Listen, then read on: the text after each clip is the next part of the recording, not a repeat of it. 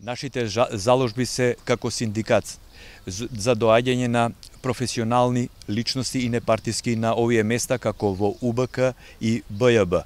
Во тој контекст, уште еднаш потенцираме, не навлегуваме, ние не ги ни спомнуваме имињата ни во едно сообщение, од трите сообштенија не сме ги спомнале имињата, односно како личности, луѓето кои што се функционери со самото стапување кај нас на работа тие стануваат функционери во функција на државата.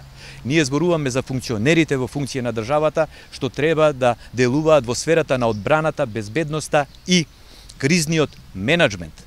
Значи, а како политичари, тие може би се прекрасни политичари, може би се многу активни партиски играчи.